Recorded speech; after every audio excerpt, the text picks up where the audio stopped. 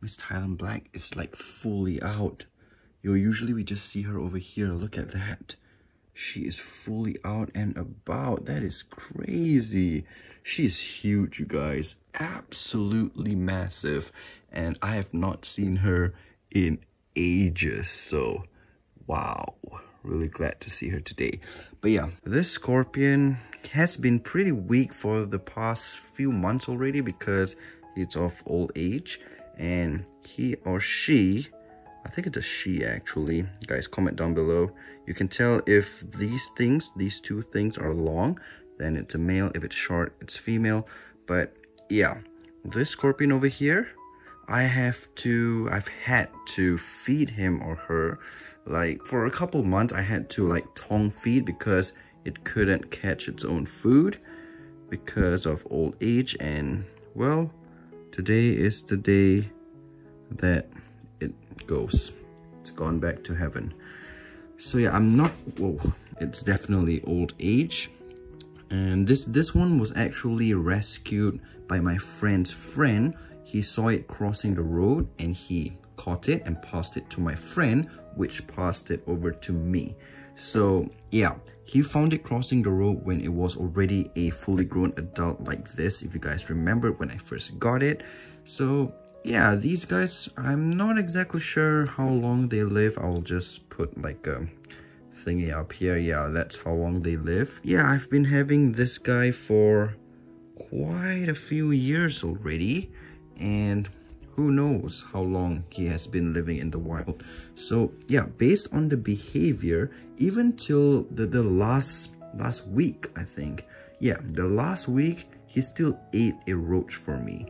And just this week before he died he just stopped eating and yeah this is yeah that's that's the end of it i know for those who are wondering yes i do i am aware that i have quite a few deaths like tarantulas on this channel and all and that is because of well many different reasons some are old some are with those like you know, I have tarantulas that had tumors and stuff.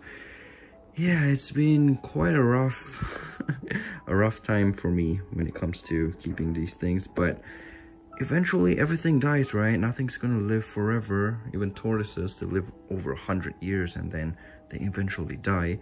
But this scorpion over here, I can guarantee you that it is a really, really, really old specimen. And yeah, that's it. Goodbye to it. And right before like a couple weeks, yeah, a couple weeks before this death, it could not like lift up its tail anymore. The tail was pretty much like flat down like this. So I've always had to like tongue feed him. I had to even encourage him to eat, like take the dubia, put it at the at the uh, pincers and just wiggle it around and wait for it to capture it by himself. But um, yeah, that's pretty much it. I had to really help him to eat, otherwise he would have died of starvation. But eventually he still passes away. Unfortunate, but like I said, everything dies and rest in peace, buddy.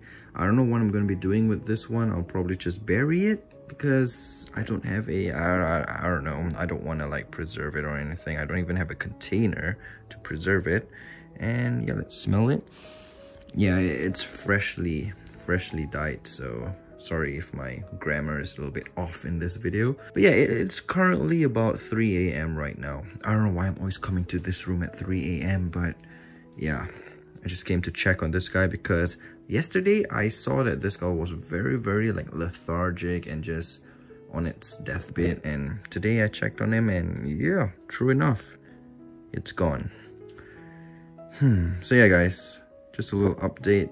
I know it's not a good update and I've had like past deaths and all.